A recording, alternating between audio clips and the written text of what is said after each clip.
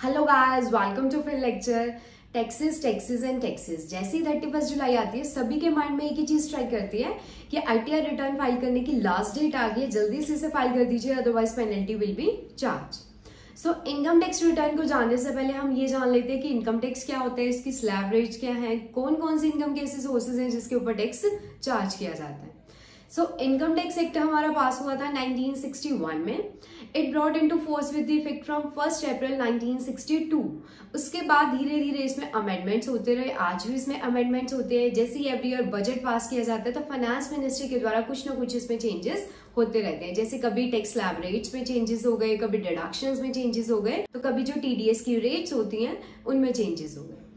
सो so, अब income tax को जान लेते हैं। Based on its features number one is it is a direct tax direct tax से मतलब ये डायरेक्टली पर्सन की इनकम के ऊपर चार्ज किया जाता है। Number two is it is an annual tax annual tax से यहाँ पर मतलब है कि ये जो फुल ईयर की इनकम है, उसके ऊपर एनुअली मतलब पूरे साल का टैक्स चार्ज किया जाएगा। ये मंथली क्वार्टरली या हाफ़ ईयरली चार्ज नहीं किया जाता।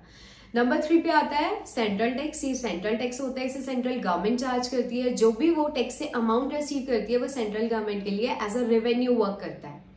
Number four is it is charge on every person अब यहाँ पर पर्सन से क्या मतलब है? जैसे हम बात कर रहे हैं कि ये जो टैक्स है वो डायरेक्ट पर्सन की इनकम के ऊपर चार्ज किया जाता है तो पर्सन से मतलब सिर्फ़ इंडिविजुअल से नहीं है पर्सन में और भी अथॉरिटीज को इंक्लूड किया जाता है।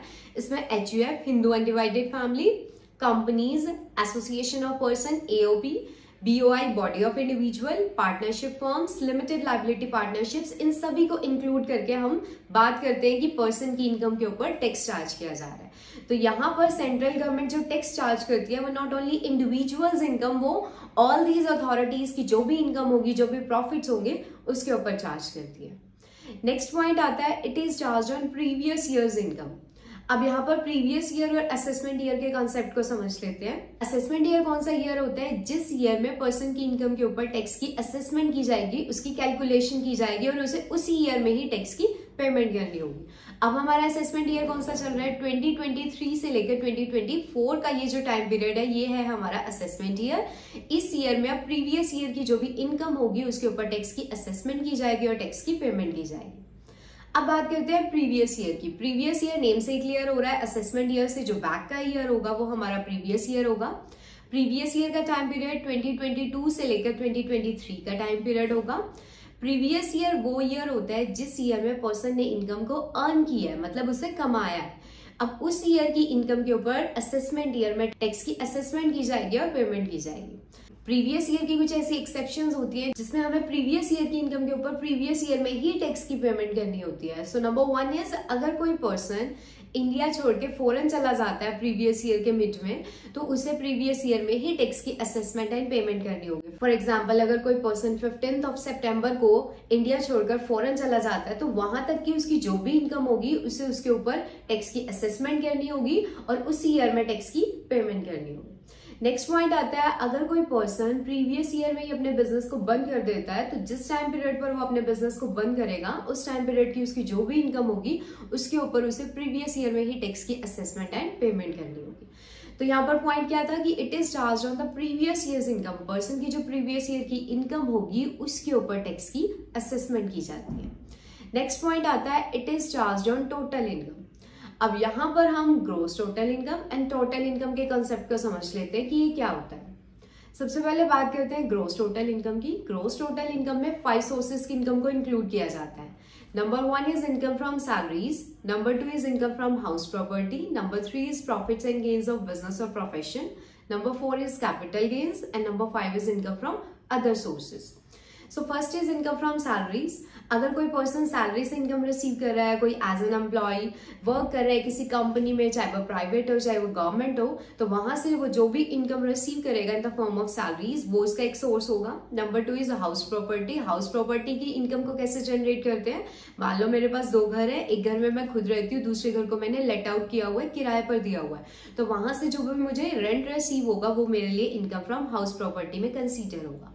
Number three is profits and gains of business और प्रोफेशन मैंने किसी बिज़नेस को रन किया हुआ है, वहाँ से मुझे प्रॉफिट्स हो रहे हैं। मैं किसी प्रोफेशन में लगी हुई हूँ, वहाँ से मुझे इनकम रिसीव हो रही है प्रॉफिट्स रिसीव हो रही है तो वो आएँगे मेरे third हेडमेंट that is profits and gains from business और प्रोफेशन नंबर फोर पे आता है कैपिटल गेन्स कैपिटल गेन्स से मतलब होता है कि अगर हम किसी भी फिक्स्ड एसेट्स को सेल कर रहे हैं तो सेल होने से जो भी प्रॉफिट होगा, वो होगा हमारा कैपिटल गेन फॉर एग्ज़ाम्पल मेरे पास एक एग्रीकल्चरल लैंड है, उसे मैंने 2010 में परचेज किया था 20 लाख रुपीज़ में. आज 2023 में मैं उसे सेल कर रही हूँ 80 लाख रुपीज़ में.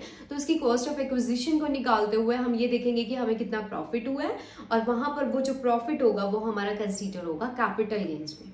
नंबर फाइव पे आता है इनकम फ्रॉम अदर सोर्सेज इन चारों हेड्स की इनकम को छोड़ के बाकी जो भी इनकम होगी, वो हमारी इनकम फ्रॉम अदर सोर्सेज में आएगी.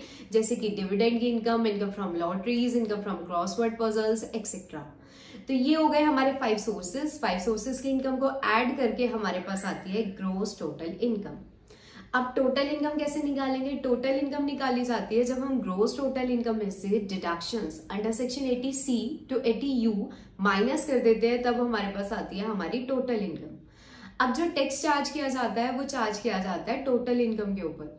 टोटल इनकम जब हमारी निकल जाती है, उसके बाद हम उसे टेन के मल्टीपल्स में राउंड ऑफ़ करते हैं, उसके बाद उसके ऊपर टैक्स चार्ज किया जाता है according to the different tax slab rates अब इसमें टैक्स कैसे चार्ज किया जाता है, इसके लिए हमारी होती है tax exemption limit different tax slab rates जैसे ही पर्सन की इनकम आती है, उसके ऊपर डिफरेंट टैक्स स्लैब रेट्स के अकॉर्डिंग टैक्स की कैलकुलेशन की जाती है.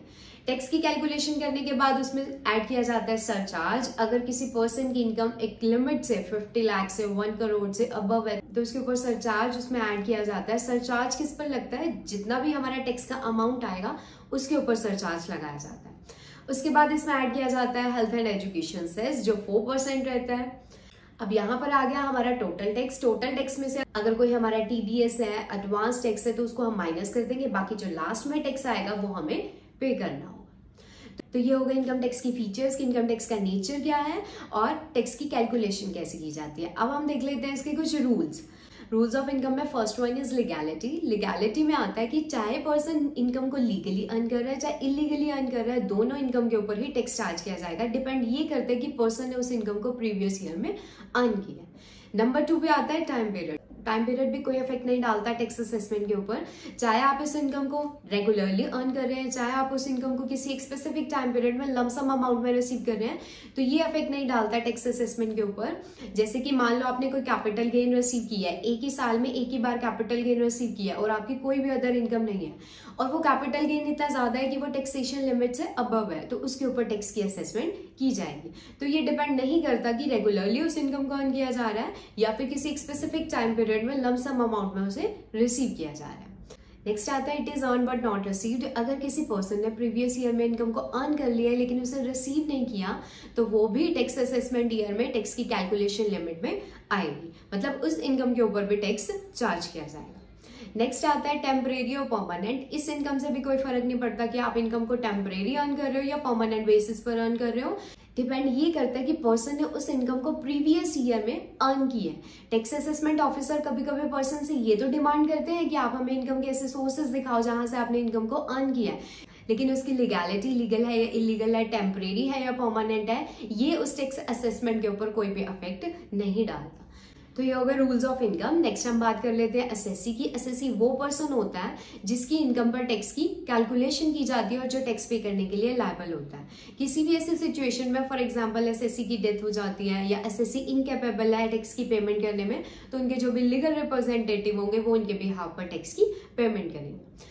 डिफ़ॉल्ट एसएससी क्या होता है? अगर एसएससी किसी भी टाइम पीरियड में before the due date tax की पेमेंट करने में फेल हो जाता है तो हम उसे कहते हैं डिफ़ॉल्ट एसएससी और वहाँ पर उसके ऊपर इंटरेस्ट पेनल्टी और ऑफेंसेस चार्ज किए जाते हैं, अगर वो इसे कैरी ऑन रखते हैं। सो गाइज़ ये थे basic concepts of income tax and rules of income आगे के इसके जो भी टॉपिक्स हैं, वो आपको इसी प्लेलिस्ट में मिलते रहेंगे। तो चैनल को सब्सक्राइब कर लीजिएगा और लाइक करना मत भूलिएगा। Thank you